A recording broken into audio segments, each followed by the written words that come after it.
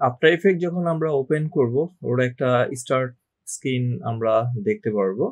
এই স্টার্ট স্ক্রিনের মূলত দুভাগে ভাগ করা থাকে। একটা হচ্ছে ওয়ার্ক আর একটা হচ্ছে লার্ন ওয়ার্ক হচ্ছে আমাদের প্রিভিয়াস কাজগুলো, যেগুলো রিসেন্টলি আমরা করেছি। যদি করা থাকে সেগুলো লিস্ট থাকবে। প্লাস এখানে নিউ প্রজেক্ট ওপেন প্রজেক্ট এগুলো থাকবে। এরপর লার্নিংটা হচ্ছে এখানে অনলাইনে ক্লাউড এর মধ্যে আমরা যদি কোনো টিউটোরিয়াল থাকে, সেটা আমরা দেখতে পারব।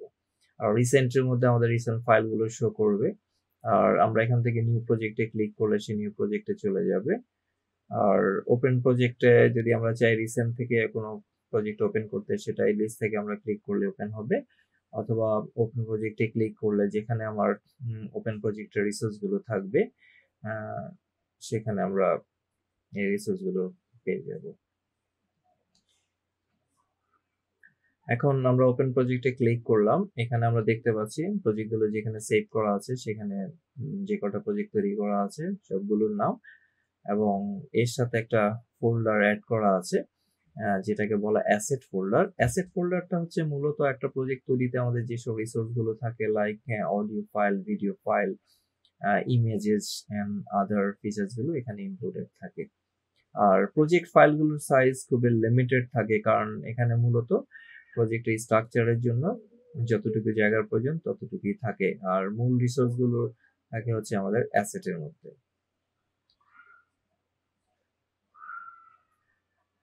এখান থেকে প্রজেক্ট সিলেক্ট করে আমরা ওপেন করে চলে যাব। এখন যে উইন্ডোটা আমরা দেখছি, এটা হচ্ছে টোটাল আমাদের ওয়ার্কিং এরিয়া এটা কটা অংশে ভাগ করা থাকে? যেমন project panel composition panel info panel and preview panel আর নিচে থাকে আমাদের টাইমলাইন প্যানেল তো টাইম টাইমলাইনে আমরা যখন স্পেস বার প্রেস করব, তখন প্রজেক্টটা প্লে হতে থাকবে। আবার স্পেস বার প্রেস করলে এটা অটোমেটিক্যালি স্টপ হয়ে যাবে।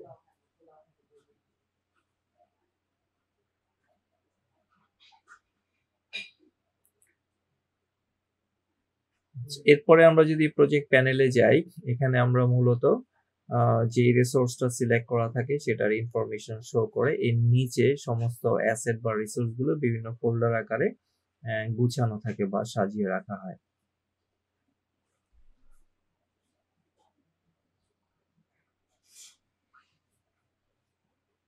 আর কম্পোজিশন প্যানেলে থাকে আমাদের টোটাল প্রজেক্টের ভিউ লার্জ ভিউ যেখানে আমরা বড় করে টোটাল প্রজেক্ট আমরা দেখতে পারি।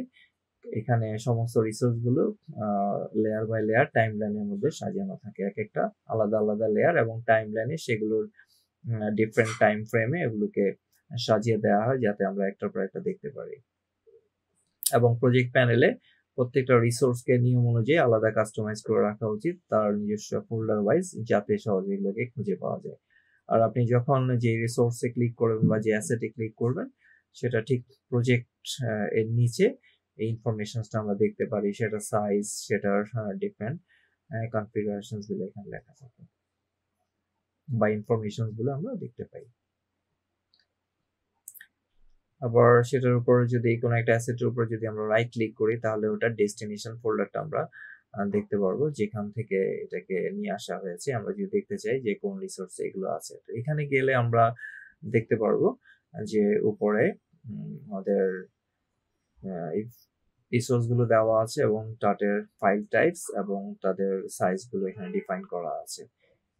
আমরা চাইলে এখান থেকে এগুলোকে ওপেন করে এখন আমি ডিটেলস আলোচনা করব হচ্ছে ডিফারেন্ট প্যানেলস নিয়ে। আমাদের ওয়ার্কিং এরিয়াতে যেসব প্যানেলসগুলো থাকে, সেগুলো নিয়ে এখানে কাজের সুবিধার জন্য প্রত্যেকটা অংশকে আলাদা আলাদা প্যানেলে ভাগ করা হয়েছে। এদের মধ্যে আছে প্রজেক্ট প্যানেল প্রজেক্ট প্যানেলটা মূলত কাজ করে একটা প্রজেক্টের জন্য যেসব রিসোর্সগুলো থাকে, সেগুলোকে কাস্টমাইজ করা এবং এর ইনফরমেশনগুলো জানা। তো প্রজেক্ট প্যানেলের ভিতরে আবার বিভিন্ন অংশ থাকে সেগুলো আমরা বিভিন্নভাবে কাস্টমাইজ করতে পারি।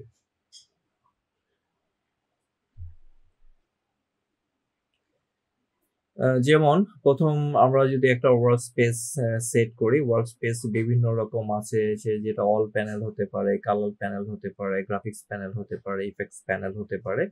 আমরা যখন যে ধরনের এনভায়রনমেন্টে কাজ করব, আমরা ওই প্যানেলগুলো ওপেন করে নেব।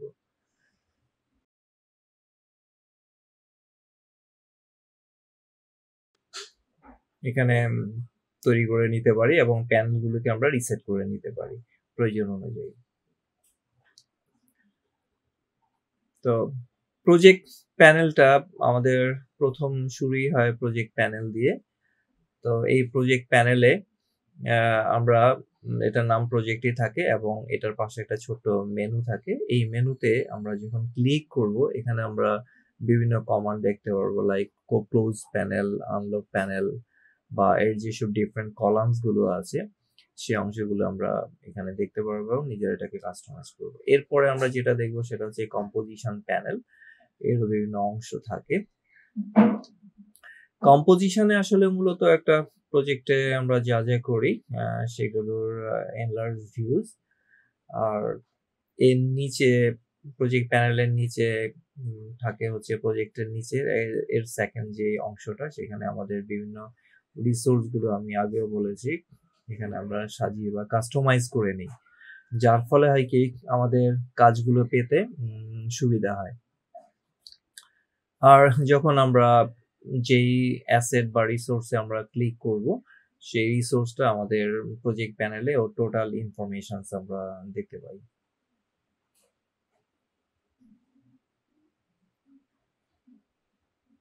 তো এই কাস্টমাইজেশনটা আসলে জরুরি। আমাদের বিভিন্ন রকম রিসোর্স থাকতে পারে like audio file like image file like any other software file সেগুলোকে আমরা কাস্টমাইজ করে নিলে আমাদের কাজ করার সুবিধা হয়। আর প্রজেক্ট প্যানেলের নিচেই থাকে আমাদের টাইম লাইন প্যানেল আর মাঝখানের এরিয়া হচ্ছে কম্পোজিশন প্যানেল তো টাইম লাইন প্যানেলে মূলত ডিফারেন্ট লেয়ারে আমাদের রিসোর্সগুলো সাজানো থাকে এবং টাইম লাইনে বিভিন্ন টাইম ফ্রেমে বা সেশনে গিয়ে এগুলো আমরা লেয়ারগুলোকে একটার উপর একটা সাজিয়ে নিই যাতে এগুলো আমরা একটার উপর একটা দেখতে পারি। এবং টাইমলাইন প্যানেলে আমরা চাইলে এগুলোকে শো অ্যান্ড হাইড করে দেখতে পারি। যে আই ভিউজটা আছে আই বাটন সেটা আমরা ক্লিক করে, এটা একটা টোগল বাটন এখানে আমরা আবার এখানে রিসোর্স গুলোকে আমরা চাইলে এই সর্টিং করতে পারি, একটার উপর একটা, উপর নিচে করে সাজিয়ে রিঅ্যারেঞ্জ করতে পারি। সেক্ষেত্রে এখানে সবার উপরে যেগুলো থাকবে সেগুলোই আসলে মূলত কম্পোজিশন প্যানেলে শো করবে। যদি টাইম লাইনের ইটা লেয়ারটা ডিফারেন্ট লোকেশনে না থাকে, যদি সেম লোকেশনে থাকে। তো, আর টাইম লাইনটা হচ্ছে এক একটা আলাদা ফ্রেমে ভাগ করা। আর ওর উপরে যে ব্লু যে এটা দেখতে পাচ্ছি আমরা বিলটা সেটা মূলত আসলে টাইমকে ইন্ডিকেট করে। তো টাইম ইন্ডিকেট করার এখানে তিনটা জায়গা আছে। একটা হচ্ছে আমরা ব্লু যেই ইন্ডিকেটরটা আছে সেটা মুভ করে আমরা ডিফারেন্ট টাইমে নিয়ে যেতে পারি। অথবা কম্পোজিশন প্যানেলের ঠিক নিচে ওখানে একটা টাইম দেওয়া আছে টাইমার সেখানে গিয়ে আমরা এটাকে দেখতে পারি। অথবা টাইমলাইন প্যানেলে যেখানে আমার অ্যাসেটগুলো থাকে লেয়ার বাই লেয়ার তার উপরে একটা টাইম আমরা দেখতে পারি। এই তিন জায়গা থেকে মূলত আমরা টাইম সেট করতে পারি। যে আমরা যেখান থেকেই কাজ করি না কেন, মূলত একইভাবে এটা কাজ করবে। এই যে এখানে আমরা সেকেন্ড এরিয়াটা দেখলাম, যেখান থেকে আমরা টাইমটা কন্ট্রোল করতে পারি, কোন টাইমে গিয়ে আমি কাজ করব। আর প্রজেক্ট প্যানেলের অ্যাসেটের সময় যেটা থাকে সেটা আমরা দেখতে, এরপর আমরা আসি ইনফো প্যানেল এই ইনফো প্যানেলে আমাদের মূলত একটা অবজেক্টের বা একটা অ্যাসেটের বিভিন্ন রিসোর্সগুলো এখানে থাকে পজিশন থাকে, এর কালার রিসোর্সগুলো থাকে। এর নিচে আমাদের থাকে হচ্ছে প্রিভিউ প্যানেল যার মাধ্যমে আমরা প্লে করে দেখতে পারি। আর এখানে প্লে বাটন ছাড়াও আমরা স্পেস বার প্রেস করে এটাকে অন অফ করতে পারি। আর সবার উপরে যেটা থাকে কম্পোজিশন প্রজেক্ট ম্যানেলের উপরে সেটা হচ্ছে আমাদের টুলস বার এখানে কিছু লিমিটেড টুলস থাকে, এই টুলগুলো দিয়ে আমরা বিভিন্ন রকম অবজেক্ট ড্রয়িং করতে পারি। এখানে যেমন ক্যামেরা সেট করতে পারি, এখানে আমরা টেক্সট লিখতে পারি, এখানে আমরা ব্রাশ দিয়ে ড্র করতে পারি। এখানে মূলত সবচেয়ে বেশি যেটা ইউজ হয় সেটা হচ্ছে সিলেকশন টুল এই সিলেকশন টুলের মাধ্যমে আমরা যে কোনো অবজেক্টকে সিলেক্ট করা এবং এর সাথে এর মুভ এবং অন্যান্য কাজগুলো আমরা করে থাকি। মানে এটাকে আমি বলি সবচেয়ে বহুল ব্যবহৃত টুলস আর নিচে টাইম লাইন এবং এর উপরে রিসোর্স এগুলোর মধ্যে একটা কম্পোজিশন থাকে, আমরা এখানে চাইলে এগুলোকে নিজের মতো করে আমরা সাজিয়ে অ্যারেঞ্জ করতে পারি।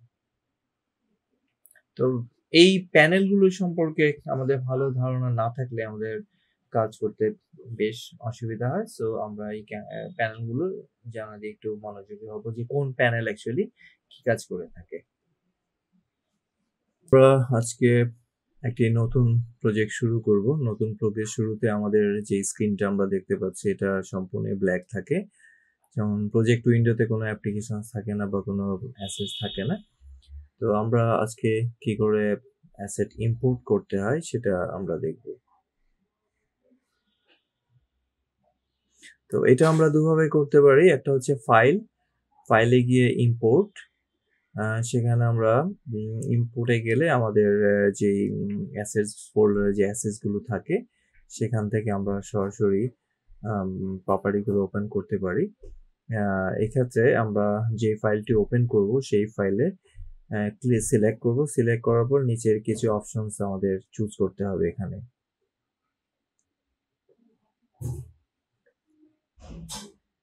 যেমন এখানে প্রথমে একটা ইলাস্ট্রেটর ফাইল চুজ করা হয়েছে।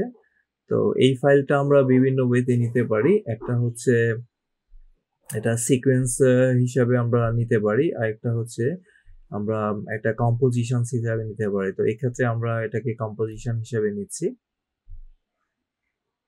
এবং ইম্পোর্ট এটা ফুটেজ হিসাবে থাকছে ফুটেজ আর দেন ইম্পোর্ট তো যখন এটা চলে আসছে, এটার উপরে প্রজেক্ট প্যানেলে আমরা ইনফরমেশনটা দেখতে পাচ্ছি। আর যদি আমরা এটাকে আরও বড় করে দেখতে চাই, সেক্ষেত্রে এখানে ডাবল ক্লিক করলে এটা কম্পোজিশন প্যানেলে একটা নতুন প্যানেল খুলবে, যেটা হচ্ছে একটা কম্পোজিশন লাইক মানে টোটাল এটা কম্পোজিশন না হয়ে একটা ফুটেজ আকারে এখানে ইম্পোর্ট হয়েছে, কারণ ওপেন হয়েছে সরি কারণ এটা আমরা ইম্পোর্ট করেছিলাম অ্যাকচুয়ালি একটা ফুটেজ হিসাবে। তো আমরা এটা যখন ক্লোজ করে দিব, তখন আর এটা দেখা যাবে না। এইগুলো হচ্ছে একটা পদ্ধতি। এবং এখানে আমরা চাইলে একাধিক ফাইল একসাথে ওপেন করতে পারি। সেক্ষেত্রে আমরা শিপ চেপে দুটোকে সিলেক্ট করে দেন আমরা চাইলে ফুটেজ হিসাবে নিতে পারি এবং সেখানে ফুটেজের অপশনসগুলো হতে পারে কম্পোজিশন ফুটেজ এখানে মাল্টি সিকোয়েন্স অপশন হতে পারে বা ইম্পোর্ট অপশনসে আমরা একটা ক্রিয়েট নিউ কম্পোজিশন ক্রিয়েট করতে পারি। ডিপেন্ডস অন যে আমরা এখানে কীভাবে কাজ করব। এরপরে ইম্পোর্ট দিলে আমাদের দুটো অ্যাসেটস এখানে সরাসরি ইম্পোর্ট হয়ে গেছে। এরপরে আমাদের আরেকটা অপশনস আছে সেটা হচ্ছে নিউ কম্পোজিশন ফ্রম ফুটেজ এখান থেকে আমরা ফাইলগুলোকে ইম্পোর্ট করতে পারি। তো এই আইকনে ক্লিক করলে আমাদের সেম লোকেশনসে চলে যাবে। এখান থেকে আমরা যথাযথ ফাইল সিলেক্ট করব। সিলেক্ট করার পর আমরা ইম্পোর্ট দিলে সরাসরি এটা চলে আসবে। এবং এটা সরাসরি একটা কম্পোজিশন হিসাবে চলে আসছে, যেগুলো অন্যগুলোর মতো না। হ্যাঁ ডিরেক্ট এটা এবং এটা লেয়ার টাইম লাইনে এটা লেয়ার তৈরি হয়ে গেছে। এই হচ্ছে মোটামুটি আমাদের ফুটেজ অপশনস কি করে আমরা ইম্পোর্ট করতে পারি অ্যাসেটগুলোকে এই তিনটা ওয়ের যে কোনো একটা পদ্ধতি আপনারা বেছে নিতে পারেন। এখন আমরা কাজ করব কম্পোজিশনের বিভিন্ন অপশনসের উপরে। তো আমরা যখন কোনো একটা কম্পোজিশনের উপরে ক্লিক করি, যেটা প্রজেক্ট প্যানেলে আমরা ওটার ইনফরমেশনগুলো দেখতে পাই। তো আমাদের আজকের মেইন কাজ হচ্ছে এটাকে অ্যারেঞ্জমেন্ট করা। এই যে আমরা যেসব অ্যাসেটগুলো নিয়ে আসছে প্রজেক্ট প্যানেলে এগুলোকে আমরা এখন অ্যারেঞ্জ করব। মানে কাস্টমাইজ করে বিভিন্ন ফোল্ডারের মধ্যে এগুলোকে আমরা রাখব। যাতে আমরা পরবর্তীতে এগুলোকে কাজ করতে গেলে আমাদের সহজ হয় জিনিসটা। তো এগুলো এতে কাজ করা খুব ইজি প্রথমত হচ্ছে আমরা এটাকে অ্যারেঞ্জ করতে পারি ওদের লেবেল দিয়ে। তো লেবেল আইকনে যখন আমরা ক্লিক করব, সেখানে আমরা ওর ডিফারেন্ট কালার দেখতে পারব। এখন আমরা চাইলে এগুলোকে প্রায়োরিটি অনুযায়ী ডিফারেন্ট কালার আমরা দিতে পারি এবং কালার চেঞ্জ করার সাথে সাথে এগুলো বিভিন্ন ওয়েতে সর্টিং হয়ে যায় বা রিঅ্যারেঞ্জ হয়ে যায় অটোমেটিক্যালি তো এখানে যখন কোনো একটা ফুটেজ বা কোনো একটা অ্যাসেটস বা কোনো একটা ইর উপরে রিসোর্সের উপরে আমরা যখন ক্লিক করব, তো সেটাকে আমরা সিলেক্ট করে ওর এর উপরে আমরা লেভেলের উপর রাইট বাটন ক্লিক করে সেখান থেকে আমরা পপআপ মেনু থেকে কালার চুজ করতে পারব। এবং এগুলো কালার চেঞ্জ হওয়ার সাথে, সাথে আবার রিঅ্যারেঞ্জ হয়ে যায় অটোমেটিক্যালি। তো এটা হচ্ছে একটা সিস্টেম যে আমরা লেভেল দিয়ে একে আমরা সাজাতে পারি। আর এরপরে আমরা একে সাজাতে পারি হচ্ছে এটাকে ডিফারেন্ট ফোল্ডারে কাস্টমাইজ করে। তো এক্ষেত্রে আমরা যখন প্রজেক্ট প্যানেলে প্রজেক্ট নেম এর উপরে ডাবল ক্লিক করব তখন পুরো স্ক্রিনটা এনলার্জ হয়ে যায়। যাতে আমরা এখানকার বাকি অংশগুলো সরাসরি আমরা দেখতে পারি। আবার ওটাকে ডাবল ক্লিক করলে ওটা স্মল সাইজ আবার আগের অবস্থায় চলে আসে। এখান থেকে আমরা এর বিভিন্ন কলামগুলোকে কাস্টমাইজ করে নিতে পারি। কোন, কোন কলাম এখানে আমরা দেখব। এর আন্ডারে অনেকগুলো কলাম থাকে। আমরা চাইলে এটাকে মাল্টিপল কলাম একসাথে দেখাতে পারি। এরপরে ওকে আমরা প্রজেক্টে ডাবল ক্লিক করে আগের অবস্থা আমরা এখন ফিরিয়ে নিচ্ছি। আচ্ছা, এবার আমরা যেটা কাজ করব সেটা হচ্ছে প্রত্যেকটা ফুটেজকে আমরা তাদের ক্যাটাগরি ওয়াইজ বিভিন্ন ফোল্ডারে আমরা আম ই করে সাজিয়ে নিব। এক একটা ফোল্ডার তৈরি করে। তবে এটা সহজ হচ্ছে জাস্ট ফাইলটা সিলেক্ট করে নিচে ফোল্ডার আইকনের উপর এসে ক্লিক করলেই ওখানে একটা ফোল্ডার ক্রিয়েট হবে এবং সেই ফোল্ডারে আমরা রিনেম করে দিয়ে ফোল্ডারের নামটা আমরা ডিফাইন করে নিতে পারি।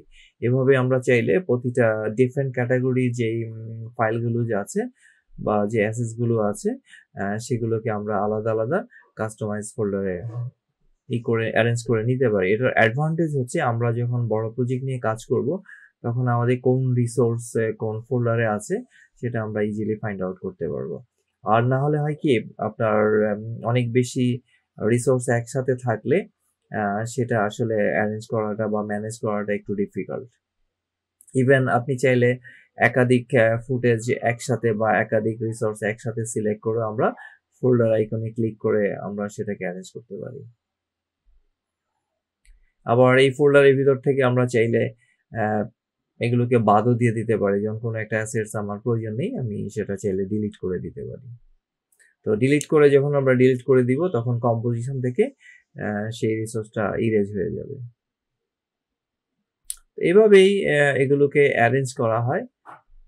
অ্যারেঞ্জ করার মাধ্যমে একটা কাজের সবচেয়ে বড় অ্যাডভান্টেজ পাওয়া যায়। তো সবসময় খেয়াল করবেন বা চেষ্টা করবেন সমস্ত রিসোর্স গুলোকে তাদের ক্যাটাগরি ওয়াইজ ফোল্ডার তৈরি করা এবং অথবা ফোল্ডারের আন্ডারে সাব ফোল্ডার ক্রিয়েট করে আমরা সেটাকে রাখতে পারি। এবং ফোল্ডারকে আমরা যখন এক্সপান্ড করব তখন ওর ভিতরে আমরা রিসোর্সগুলো দেখতে পারব। আবার এক্সপান্ড ক্লোজ করে দিয়ে সেগুলোকে আমরা ফোল্ডারের ভিতর দেখতে পারব জিনিসগুলো। এই হচ্ছে মোটামুটি আমাদের অ্যারেঞ্জমেন্ট। তো অ্যারেঞ্জমেন্ট হচ্ছে একটা কাজের প্রিলিমিনারি স্টেজ। আমরা যখনই কোনো প্রজেক্ট নিয়ে কাজ করব, তখন আমাদের খেয়াল রাখতে হবে এটার প্রপার অ্যারেঞ্জমেন্টই আমার কাজটাকে অনেক সহজ করে দেবে তো আশা করি এই ভিডিও পর্বে আপনারা এর ইনফ্রাস্ট্রাকচার এবং কাজের ধরনগুলো জানলেন এবং এটা খুব ভালোভাবে প্র্যাকটিস করবেন। যাতে আপনারা সহজভাবে কাজটা করতে পারেন।